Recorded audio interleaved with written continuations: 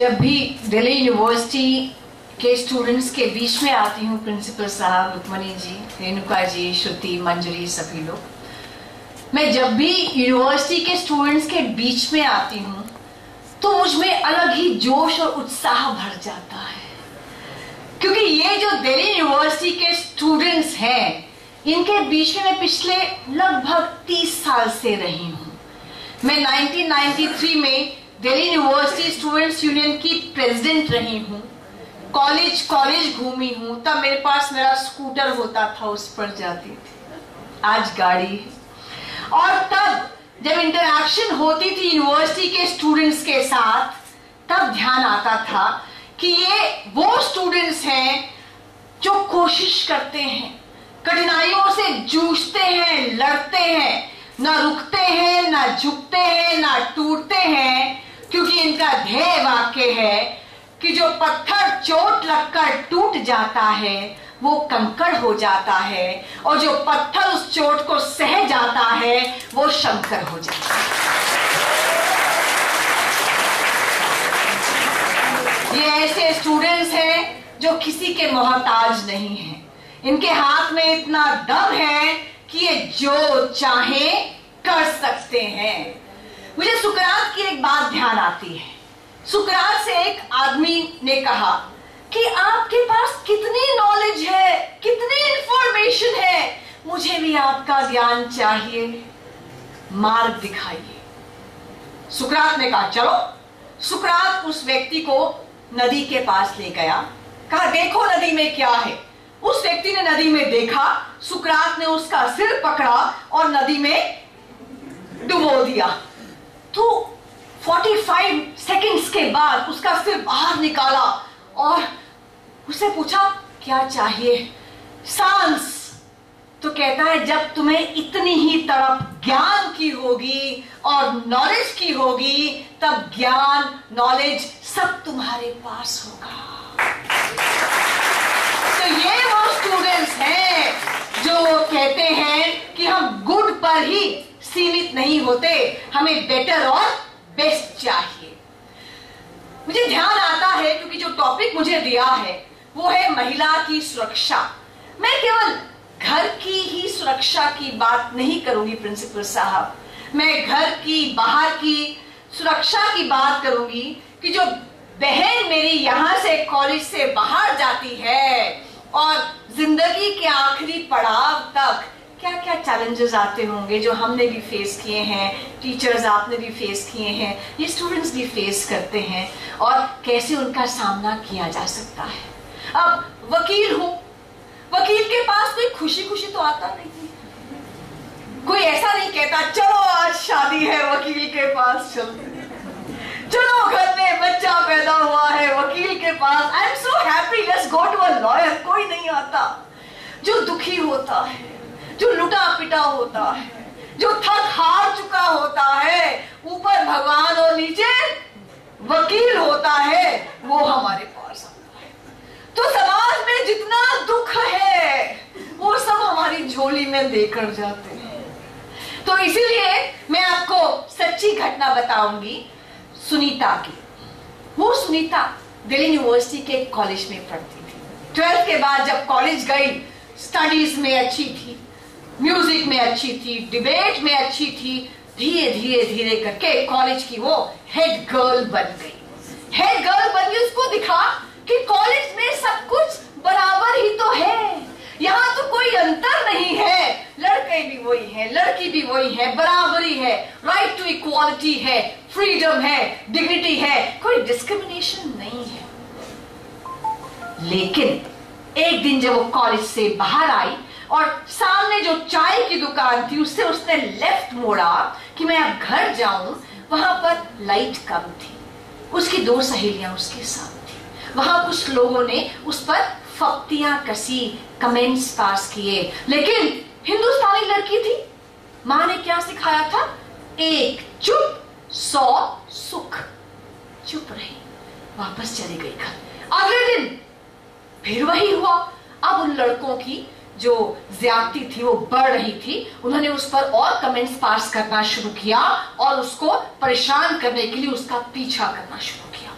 अब वो बहुत परेशान, लेकिन माँ ने सिखाया है, एक चुप, सौ सुख। इसलिए चुपचाप चली गई। तीसरे दिन जब उसका दुपट्टा खींचा गया, उससे रहा नहीं गया, उसने कहा, माँ, तुम्हारी सीख तुम्हारे साथ। उसने फ़ोन किया अपनी सहेली को, अपराजिता को, जो लॉयर है, वकील है। और कहा, अपराजिता प्लीज़ हेल्प मी मैं क्या करूँ? अपराजिता ने कहा, सौ नंबर पे कॉल कर। सौ नंबर पे कॉल करेगी, जो भी कहेगी, वो वहाँ पर रिकॉर्ड होता है। कल को आपको वो पर्चा मिल सकता है कि आपने क्या शिकायत की है। उसे सौ नंबर पे कॉल किया। पीसीआर की वैन आई, वो लोग भाग गए। नेक्स्ट डे फिर उसने देखा वो खड़े हैं। सौ नंबर पे कॉल किया, पुलिस की वैन आई, फिर वो लोग भाग गए। थर्ड डे, उन लोगों ने अपना रास्ता बदल दिया और ये जिस और रास्ते से जा रही थी, पीछे से जाकर उसको फिर से परेशान करके धक्का दिया। अब उसने कहा, मैं नहीं बर्दाश्त कर सकती। मैंने ये सीख नहीं ली, ना अन्याय करूँगी और ना अन्याय को सहूँगी। उसने कहा, अपराजिता बता क्या करूँ? अपराजिता कहती है पास के मॉरिस नगर के पुलिस स्टेशन में जा। वहाँ गई सुनीता, मॉरिस नगर के पुलिस स्टेशन में। वहाँ एस एसएचओ साहब एज यूजुअल राउंड पर गए हुए थे। ड्यूटी ऑफिसर था वहाँ पर। इसने कहा, अब क्या करूँ? कंप्लेन दे। उसे कंप्लेन दी क्या मैडम, ये क्या कंप्लेन ये थोड़ा बहुत तो चलता रहता है यूनिवर्सिटी में। अब लड़की हो ये भी कंप्लेन दोगे। कल आना एसएचओ साहब, आएँगे तो। जो टिपिकल पुलिस का रवैया रहता है, हम सब जानते हैं। और तब उसने अपराजिता को फ़ोन किया। अब क्या करूँ? अपराजिता ने कहा, सौ नंबर पे कॉल कर। यहाँ के डीसीपी का नंबर ले मोबाइल नंबर ले। सबको मिलता है। डीसीपी को कॉल कर, उसको बता ऐसे ऐसे मेरी कंप्लेंट पुलिस नहीं ले रही है। कॉल किया, डीसीपी ने अपनी पुलिसिया भाषा में। वहाँ उपस्थित पुलिस वाले को समझाया, पाँच मिनट में एसएचओ को भी बुलवाया, उसकी कंप्लेंट लॉन्च हुई। और क्योंकि उस आदमी ने उसको छुआ था और धक्का दिया था, इसलिए एफआईआर लॉन्च हुई और फिर पुलिस उसके साथ गई, उन लोगों को धर दबोचा। उसके बाद उसको छेड़ने का किसी ने ज़रूरत नहीं की अगले तीन साल तक। अब वो अपने कॉलेज की हीरोइन हो गई स्टार हो गई। अपने ही नहीं, आसपास के कैंपस के जितने भी कॉलेजेस थे किसी लड़की को कोई दिक्कत होती तो वो पुलिस के पास नहीं जाते, वो सुनीता के पास आते। सुनीता, ये प्रॉब्लम है। और जब ये सुनीता उनकी प्रॉब्लम लेकर पुलिस स्टेशन जाती, वो पुलिस वाला अपने आप ही एसएचओ को फ़ोन करता, सर जी, सुनीता जी आई हैं। वो तुरंत आता और एक्शन लेता। जब आप अपने लिए ही नहीं, अपने समाज के लिए, अपने लोगों के लिए खड़े होते हो तब आप स्टार बनते हो। आपको कोई इलेक्शन लड़ने की भी ज़रूरत नहीं होती। You become leader without title Aparajita college खत्म हुआ, सुनीता का। उसके बाद उसको एक नौकरी करनी थी, क्योंकि घर में छोटे भाई बहन थे, पिताजी के पास इतना पैसा नहीं था। उसने एक साउथ कैंपस के कॉलेज में नौकरी ली एडमिनिस्ट्रेशन में वहाँ पर जो एडमिनिस्ट्रेटिव ऑफिसर थे वो एक्सटेंशन पर चल रहे थे रिटायरमेंट के बाद। वो लगभग साठ, बासठ साल के आसपास, तिरसठ साल के आसपास के थे। अब वो जिस प्रकार से कुछ बुरे लोग होते हैं, उस तरह के लोग थे। अब ये बैठी अपना काम कर रही होती, इसको बोलते, तू लड़कों से बात क्यों करती है? तू मेरे साथ लंच क्यों नहीं करती है? तू मेकअप करके क्यों नहीं आती रात रात को मैसेज कर रहे हैं, कहने को एसएमएस नहीं आता व्हाट्सएप पे गाने भेज रहे हैं। दिस बिकेम टू मच अब तक सुनीता माँ की वो सीख भूल चुकी थी कि एक चुप सौ सुख वो अपने लिए भी खड़ी होती थी, अपने समाज के लिए भी खड़ी होती थी। उसने तुरंत अपराजिता को फ़ोन किया, अपराजिता व्हाट नेक्स्ट उसने कहा, हर कॉलेज में, हर इंस्टीट्यूशन में, हर वर्क प्लेस में, जहाँ दस या दस से ज़्यादा लोग होते हैं, वहाँ इंटरनल कंप्लेंट्स कमिटी बनी होती है। कोई भी ऐसे हैरेसमेंट की बात हो सेक्सुअल हैरेसमेंट की बात हो इमीडिएटली वहाँ पर कंप्लेंट करो। उसने प्रिंसिपल से बात की। हमारे यहाँ पर इंटरनल कंप्लेंट्स कमेटी है? नहीं थी। नहीं थी उस कॉलेज में। तो आनंद फानंद में वो इंटरनल कंप्लेंट्स कमेटी रातों रात बनाई गई। उसने अपनी कंप्लेन दी, अपने विटनेसेस दिए, अपने डॉक्यूमेंट्स दिए, दूसरी साइड से भी दिए गए। अल्टीमेटली ये प्रूव हुआ कि हैरेसमेंट हुई है। उस व्यक्ति ने माफ़ी मांगी, उस व्यक्ति को रिजाइन करना पड़ा। वो यहाँ भी नहीं दबी, यहाँ भी नहीं झुकी। क्योंकि वो केवल कंकड़ बनकर नहीं रहना चाहती थी, वो उस शंकर की शक्ति को लेना चाहती थी।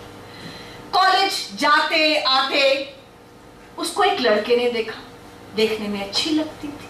लड़के ने प्रपोजल दिया, उसने कहा, मेरे पेरेंट्स से बात करो। तो जब पेरेंट्स की आपस में बात हुई, सुनीता की शादी हो गई। शादी हुई, लड़के वाले रहते थे जोरबाग में। जोरबाग में बड़ी सी कोठी। कहते हमें कुछ नहीं चाहिए। हमारे पास कोठी है, भगवान का दिया हुआ सब कुछ है, लेकिन आने वाले मेहमानों का स्वागत ठीक से कर दीजिएगा। शादी हो गई। शादी होने के बाद एक बच्ची भी हो गई। लेकिन कभी कभी वो तारे जो पड़ते हैं ना अरे, गाड़ी तो दे देते, बेटी को ही तो दे। कुछ ज्वेलरी तो दे देते, रानी हार, कुछ तो लेकिन वो इग्नोर करती गई, क्योंकि पति अच्छा था, बच्ची उसके पास थी, घर में थी, सब ठीक ठाक था। नौकरी भी उसने छोड़ दी, पति ने कहा था, सब कुछ तेरे पास है, तुझे नौकरी क्या करनी? ऐसा होता ना आजकल। खैर, लेकिन जब लड़की सात साल की हुई तब एक दिन पति आए। ये सच्ची घटना है। उन्होंने कहा, मुझे अब प्रेरणा से प्यार हो गया है। तू अपने घर वापस जा। वैसे भी तू मोटी है देख ले बच्ची में ही लगी रहती है। मुझे हाई सोसाइटी में मूव करना है। इसलिए मैं तुझे डिवोर्स दूँगा। तुझे जो पैसा चाहिए, पैसा ले। तू छोड़, मैं प्रेरणा से शादी कर इसने कहा मैं कहा जाऊँगी? मेरे पास एक छोटी बच्ची है, मेरी शादी हो चुकी है। उसने कहा, तुझे मैं एक हफ़्ते का टाइम देता हूँ। लीव माई हाउस उसको ध्यान नहीं आया, क्या करूँ? तुरंत अपराजिता को फ़ोन मिलाया। अपराजिता ने दो दिन के अंदर डोमेस्टिक वायलेंस का केस फ़ाइल किया। यहीं पर साकेत कोर्ट में जो मेट्रोपोलिटन मैजिस्ट्रेट के आगे लगा और फ़र्स्ट डे पर जो ऑर्डर मिले अपराजिता ने दिलवाए, सुनीता को residence order she cannot be thrown out of the house number one maintenance order दस हज़ार रूपए बच्ची को और पंद्रह हज़ार रूपए सुनीता को मिलेंगे। तीसरा कस्टडी ऑर्डर। बच्ची को माँ से अलग कोई नहीं कर सकता। चौथा रेस्ट्रेंट ऑर्डर कि जहाँ ये रहती है, वहाँ जाकर कोई भी इन लॉज में से वहाँ पर ना धमका सकता है, ना उसके साथ क्रूरता कर सकता है। और पांचवा प्रोटेक्शन ऑफिसर अपॉइंट हुई, जो 24 घंटे इसके लिए अवेलेबल है। जब इसको प्रॉब्लम हो कॉल करेगी, वो तुरंत घर पर आ जाएगी। उसके बाद तो प्रेरणा ने उसके पति को छोड़ दिया। और आज सुनीता अपने पति के साथ और बच्ची के साथ आराम से रह रही है। इसीलिए मैं कहना चाहूँगी, लो एक ऐसा ब्रह्मास्त्र है, जिससे आप अपने को बचा सकते हैं और समाज का भला भी कर सकते हैं। हाँ ये ब्रह्मास्त्र अगर रावण के हाथ में आ जाए या उस प्रवृत्ति के लोगों के हाथ में आ जाए तो इसका मिसयूज भी उतना ही होता है। लेकिन अपने जीवन से सुनीता ने दिखा दिया कि ज़िंदगी तो अपने दम पर ही जी जाती है। कि ज़िंदगी तो अपने दम पर ही जी जाती है। दूसरों के कंधों पर तो जनाजे ही उठा। सुनीता को मालूम था कि महिला होने के नाते जो चैलेंजेस हैं, चुनौतियाँ हैं, वो तो बचपन से ही शुरू हो जाती है। शायद महिला के लिए जन्म लेना ही एक चुनौती है। जब भगवान ऊपर से हज़ार लड़के भेजता है, हज़ार लड़कियाँ भेजती हैं तो हज़ार लड़कों का तो सेफली डिलीवर्ड साइन हो जाता है। वो लड़कियाँ 930, 940, 950 पहुँच जाती हैं। वो 50 लड़कियाँ बाकी की कहाँ जाती हैं? शायद उनके लिए जन्म लेना ही एक चुनौती है। उसके बाद जब ढोल वाले से कह दिया जाता है अरे भैया तो ढोल बजा रहा है लड़की पैदा हुई यहाँ तो अपना ढोल बज गया अगली बार आयो पीर बाबा की मन्नत मांगी है लड़का ही होगा तब जितना मर्ज़ी ढोल बजाई हो तो उस लड़की के लिए जन्म लेने के बाद मुस्कुराना भी एक चुनौती है। उसके बाद शिक्षा लेना, स्कूल जाना, घर में रहेगी, कहा छोटे बच्चों को संभालेगी, कहाँ बाहर जाएगी? फिर कॉलेज में जाएगी तो उससे पहले सब्जेक्ट्स कौन से लेगी?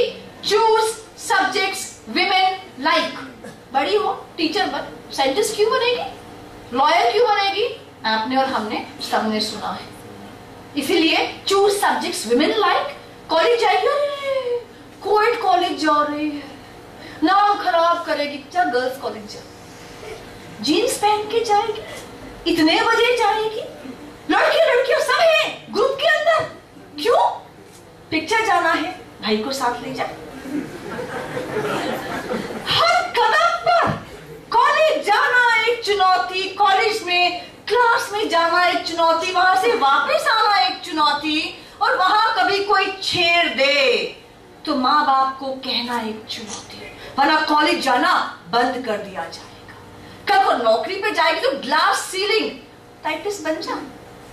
तो ऑफ़िस में काम कर ले तो बॉस कैसे बन सकती है? You are a girl you not even a person तो ग्लास सीलिंग रहती है। अच्छा शरीफ बॉस मिलना एक चुनौती। और जब शादी हो उसके बाद तो शादी वाले दिन नई नवेली दुल्हन की दहलीज पर जब आकर बारात रुकती और कहती है स्विफ्ट डिज़ायर नहीं, हमें तो होंडा सिटी कार चाहिए।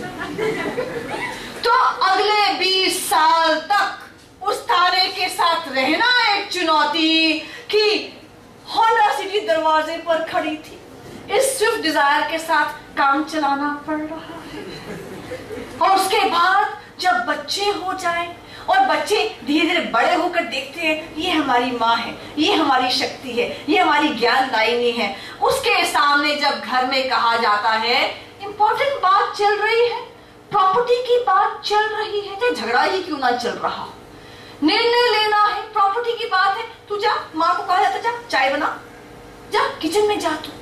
तो बच्चा देखता है कि ये मेरी माँ जो मेरी दायनी है, इसमें समझ कम है, इसमें दिमाग कम है, इसलिए इसको कहा जाता है किचन में जा, यहाँ इंपॉर्टेंट बात चल रही है। तो अपने ही बच्चों के सामने, सम्मान के साथ जीना ही एक चुनौती है। और इस इन सब चुनौतियों से जो पार पाकर मेरी बहनें यहाँ बैठी हैं, यहाँ बैठी हैं और सामने बैठी हैं। इसलिए मैंने कहा, मैं उन सभी का नमन करती हूँ, वंदन करती हूँ, मैं सभी का अभिनंदन।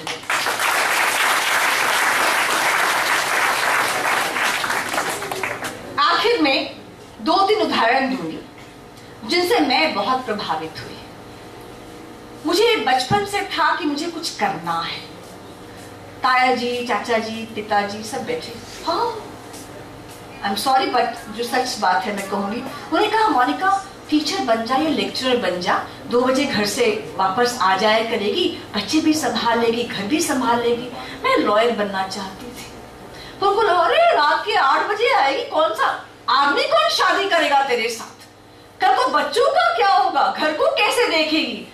कर करके कर करके पर जो सपना देखा था वो सपना तो कुछ और था। तो इसीलिए आज घर भी ठीक है, परिवार भी ठीक है, बच्चे भी ठीक है करियर भी ठीक है। क्योंकि जब आप अपने पैशन को अपना प्रोफेशन बनाते हो, तब sky is the limit to your success इसीलिए विवेकानंद जी ने कहा, सपना देखो। बड़ा सपना देखो। सपना ये मत देखो कि बड़ी होकर हम कहीं बैंक में बीस हज़ार की नौकरी करेंगे। सपना ये मत देखो, बड़े होकर ऑफ़िस में चले जाएँगे नाइन टू फाइव जॉब करेंगे पेंशन मिल जाएगा डीए मिल जाएगा, सब बढ़िया होगा। सपना ये मत देखो, राजकुमार आकर हमसे शादी कर लेगा एंड एवरीथिंग गोज वेल आजकल पिक्चरें बन रही है कि शादी के बाद भी क्या रहता है। सपना देखो, बड़ा देखो। हम लोगों की एक दोस्त है, संतोष यादव। संतोष यादव ने सपना देखा, उनको देखेंगे, वो ऊपर से नीचे तक घूंघट में रहती हैं। वो मोटिवेशनल स्पीकर है, पूरी इंडिया में जाती हैं। उन्होंने सपना देखा, मैं माउंट एवरेस्ट चढ़ूँगी। वो दो बार माउंट एवरेस्ट चढ़ गई। ऐसा सपना उन्होंने देखा। सपना देखो तो ये देखो कि मैं आरबीआई का गवर्नर बनूँगा या बनूँगी, और हर 500 और 2000 के नोट पर मेरे सिग्नेचर होंगे। सपना तो बड़ा और बहुत अच्छी लाइन परसों किसी ने मुझसे पूछी। किसने कहा are you interested in achieving और are you committed to achieving मन करता है, अरे, वहाँ तक पहुँच जाए। पर एक कदम भी कौन चलेगा? कोई और हमारे लिए चल ले? ऐसा रहता है। हमारी दोस्त बहुत मोटी है। मैंने कहा कि भाभी कुछ किया करो ना। कहते बंदे रख रखे हैं। यानी उनके हस्बैंड रोज सुबह वॉक पर जाते हैं। तो ऐसा तो नहीं हो सकता ना। एग्जैक्ट हमने क्लियर करना और बंदे रख रखे हैं। ऐसा नहीं हो सकता। तो इसलिए जब सपना देखो तो सोते, जागते, उठते, बैठते, खाते, पीते, केवल उसी के बारे में सोचो। 24 घंटे आप और आपका सपना एक हो जाए। तब वो ओम शांति ओम का डायलॉग चरितार्थ होगा कि जब आप किसी चीज़ को दिलो जान से चाहते हो तो सारी कायनात आपको उससे मिलाने की साजिश करती वन लाइफ वन मिशन एक डरो मत। आजकल वो हमारा बेटा जो छोटे वाला है, दसवीं में है, वो डरा हुआ है। प्री बोर्ड से पहले के यूनिट टेस्ट हैं। इसी में जान निकली हुई है प्री बोर्ड से पहले के यूनिट टेस्ट हम भी डर के रहते हैं ना? गाड़ी में नंबर कितने आएँगे? कॉलेज में एडमिशन मिलेगा क्या? अटेंडेंस पूरी नहीं है। प्रॉक्सी ना कबूल हुई तो क्या होगा? सेकेंड ईयर थर्ड ईयर के बाद एमए करेंगे एमएससी करेंगे या नौकरी करेंगे? कहाँ जाएँगे? नेट क्लियर होगा कि नहीं होगा? जेआरएफ बढ़ाया जाएगा कि नहीं जाएगा? कितना डर डर के जीते हैं। वो देखो एक स्वामी विवेकानंद गुलाम देश के गुलाम नागरिक ट्रेन में जा रहे थे। अब ट्रेन में साथ उनके एक अंग्रेज़ ऑफिसर बैठा हुआ था। अंग्रेज़ ऑफिसर को लगा, अरे, ये गुलाम देश का नागरिक भगवा पहने हुए मेरे सामने फ़र्स्ट क्लास में कैसे बैठा है? तो अंग्रेज़ ऑफिसर ने देखा, विवेकानंद जी की आँख लगी हुई थी। उसने उनके जूते उठाए और खिड़की से बाहर फेंक दिए।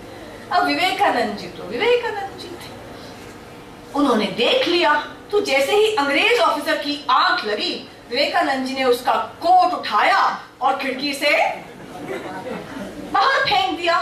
तो थोड़ी देर के बाद वो जागा, उसने नीचे देखा, ऊपर देखा, दाएँ देखा, बाएँ। कोट तो था ही नहीं, कोट होना भी नहीं था। तो उसने पूछा, है where is my coat Vivekananda ji ने बहुत ही शालीनता से जवाब दिया your coat of my shoes इतनी निर्भीकता इतनी निर्भीकता। उसके बाद एक और बात मैं कहना चाहूँगी। When character is lost, everything is lost कौन तरुण तेजपाल? तेलका का मालिक? इतना बड़ा एम्पायर का एक बॉस एक इंसिडेंट लिफ्ट में अपनी एम्प्लॉय के साथ हुआ, जेल चला गया पूरी सल्तनत ताश के पत्तों की तरह बिखर गई। एक गलती के कारण। एक। लोग कहते हैं, एक ही तो गलती की थी। यहाँ हज़ार अच्छे काम करोगे। कोई सराहे ना सराहे, एक गलती होगी, उसकी भी आपको प्राश्चित करना पड़ेगा, सजा मिलेगी। तो विवेकानंद जी गए शिकागो में धर्म संसद में भाग लेने के लिए। अब वहाँ उनसे हमसे भी चीज़ें गुम जाती है ना, अक्सर गुम जाती है घर की चाबियाँ। माँ कहती है, गैस बंद कर देना, दूध उबलने के बाद ही गैस बंद होती है। है ना? तो विवेकानंद जी से वहाँ पर परमिशन लेटर खो गया। जो उनका रिकमेंडेशन लेटर था, वो खो गया। एड्रेस खो गया, धर्म संसद है कहा, जाना कहाँ है? कुछ नहीं पता। ठंड का मौसम लगा, मैं तो यहीं मर जाऊँगा अमेरिका में। वहाँ पर पार्क में एक बेंच पर सो रहे थे। भगवा पहना हुआ, सो गए। तो सुबह एक अमेरिकन दंपत्ति वहाँ पर आया उस लेडी ने देखा विवेकानंद जी को जॉब करते हुए आया उन्होंने कहा अपने हस्बैंड से look at this man how ugly he looks Vivekananda ji ने कहा उठकर कहा शालीनता से कहा खड़े होकर कहा sister your country, America, it is the tailor that makes a man. But in my country, India, it is the character that makes a man. तीसरा सीआईडी देखते हो? सीआईडी में वो क्या कहते हैं? एक के फिंगरप्रिंट्स दूसरे से मैच सब अलग अलग है? तो कंपैरिजन क्यों करते हो आपस में? हमारे शिवालिक में एक आ, मेरी दोस्त रहती है महिला रहती है। जब मेरे बेटे के ट्वेल्थ में 94 परसेंट आए मैं तो बड़ी खुश थी। मैंने 70 परसेंट एक्सपेक्ट किए थे उसके 94 आ गए। मैं तो उसको कहा, नीचे ऊपर वाले के मार्क्स देख ले, कहीं किसी और के ना हो। सत्तर प्रतिशत में मैं खुश थी। लेकिन उसके 94 आ गए। तो मैंने शाम को घर में पार्टी रखी। तो घर से बाहर निकली कुछ सामान लेने के लिए तो सामने मुझे सुदीप्ता दिख गई। सुदीप्ता जो मेरी दोस्त है, बहुत परेशान डिप्रेशन में अपनी बेटी के साथ चक्कर लगा रही थी। उसकी बेटी खूब पढ़ती थी। तो उससे मैंने कहा, सुदीप्ता, अरे क्या हुआ? बेटी कितने मार्क्स आए? मोनिका डोंट आस्क मुझे को लगा ये उल्टा ही हो गया होगा। राघव के नंबर इसको मिल गए होंगे और उसके राघव को मिल गए होंगे। तुमने कितने नंबर आए? 97.3 परसेंट। मुझे लगा अभी भी वो डिप्रेशन की गोली खाकर आ रही है। मैंने कहा तो परेशान क्यों है? इसकी सहेली के 97.6 परसेंट आ गए हैं, इसलिए परेशान यानी परेशानी भी सब्जेक्टिव है ऑब्जेक्टिव नहीं है कि मेरे कितने आए और साथ वाले के कितने आ गए मरे जा रहे हैं। हिंदू में एडमिशन नहीं हुआ, हमारे तो जीवन की सार्थकता खत्म हो गई। एडमिशन हो भी चुका, उसके बाद भी कितने लोगों ने क्या क्या कर लिया, ये भी देखने की आवश्यकता है। इसलिए नो कंपैरिजन विद एनीबडी और आखिर में, जब सपना देखते हो तो ऐसा देखो जो सर्वे भवंतु सुखिना का सपना। जो अपने जीवन में खुशहाली लाए, अपने परिवार के जीवन को सुखमय करे, इस समाज को करे और राष्ट्र को करे, क्योंकि सपना तो जेएनयू के कुछ दिग्भ्रमित लोगों ने भी देखा था। क्या देखा था? भारत तेरे टुकड़े भारत की बर्बादी तक जंग रहेगी। अफजल हम शर्मिंदा है, पूरा देश इन पर शर्मिंदा है आज। इन पे एफ़ आई आर लॉन्च हो गई है ट्रायल चल रहा है, जेल के चक्कर लगा रहे हैं कोर्ट के चक्कर लगा रहे हैं। घर वालों का नाम खराब हुआ है, समाज ने बहिष्कार कर दिया है, देश ने लानते दी हैं। तो ऐसे लोगों से मैं कहना चाहूँगी कि लड़ना है तो मिलके लड़ो भूख से, जो भूख सारे देश को है खा रही। है लड़ना है तो लड़ो जाति पाति से, जो फूट है हमारे घर जला रही। है, खेलना ही खून से तो आओ फिर। ये सीमा देश की तुम्हें बुला रही अब मेरे से एक लड़की ने हंसाज कॉलेज के बाहर कहा, मैम, बातें तो आप बड़ी अच्छी करते हो, पर मैं अकेली क्या कर सकती हूँ?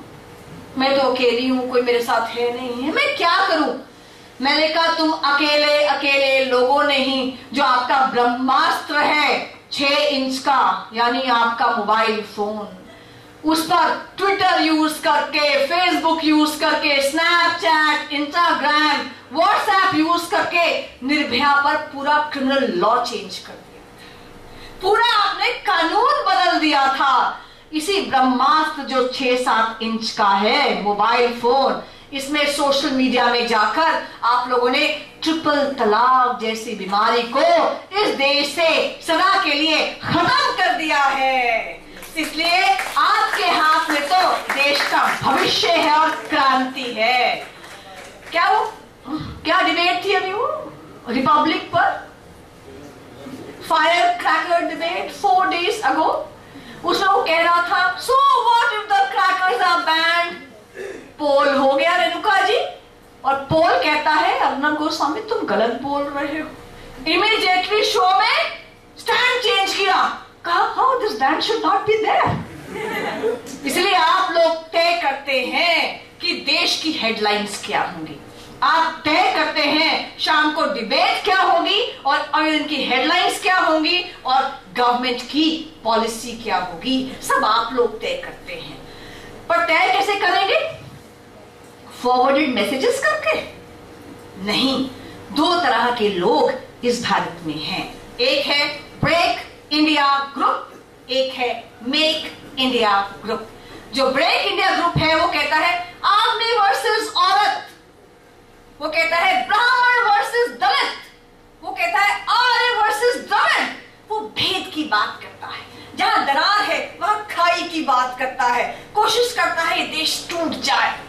आप है मेक इंडिया ब्रिगेड आप लोग कोशिश करते हैं, जहाँ दरार है, उसको हम पाट दें। जहाँ खाई है, उसको हम कम कर दें। हम देश में स्नेह की बात करें, सामंजस्य की बात करें, प्यार की बात करें, जिसके लिए है भी टॉपिक आपके पास आता है, आप इस ब्रह्मास्त्र का इस्तेमाल करें, उस पर आप विकीपीडिया में जाएँ नॉर्मली आपको अच्छी इंफॉर्मेशन मिल जाएगी। उसको पढ़ें, उसको एनालाइज करें, फिर उसके ऊपर लिखें। कोशिश करके किसी को डिफेम ना करें, क्योंकि डिफेम करना सोशल मीडिया पे भी ऑफेंस है, जो साइबर क्राइम के तहत आएगा इंडियन पीनल कोड के तहत आएगा। और समाप्त करते हुए यही कहूँगी कि मुझे एक उदाहरण बहुत अच्छा लगता है। इस पूरे 125 करोड़ के देश में मैं अपने आप को कहाँ पाती हूँ? या आप अपने आप को कहाँ पा सकते हैं? जब राम सेतु बन रहा था, नल, नील, भगवान श्री राम वहाँ मौजूद थे। वहाँ एक छोटी सी गिलहरी पानी में डुबकी लगाती, फिर रेत पर आती, फिर पानी में डुबकी लगाती। लोगों ने कहा, पगला गई हो? क्या कर रही हो? उसने कहा, यहाँ तो इतने बड़े बड़े योद्धा मौजूद हैं। मैं तो अपना छोटा सा गिलहरी प्रयास कर रही हूँ। इसलिए भारत के इस यज्ञ में अपना अपना गिलहरी प्रयास जारी रखिए। आप अकेले नहीं हैं। जहाँ खड़े हैं। जितना कर सकते हैं, जितनी सामर्थ्य है, अपने दोस्त से बात कीजिए, अपने रिलेटिव से बात कीजिए, अपने घर में बच्चों से बात कीजिए, बड़ों से बात कीजिए, जोत से ज्योत जगाते रहिए। इसलिए आज मैंने सूर्य से बस जरा यूँ ही कहा, आपके साम्राज्य में इतना अंधेरा क्यों रहा? तम तमा के वो दहाड़ा, मैं अकेला क्या करूँ? तुम बेफिक्रों के लिए मैं भला कब तक लड़ू? आकाश की आराधना के चक्रों में मत पड़ो। संग्राम यह घनघोर है। कुछ मैं लड़ू, कुछ तुम लड़ो।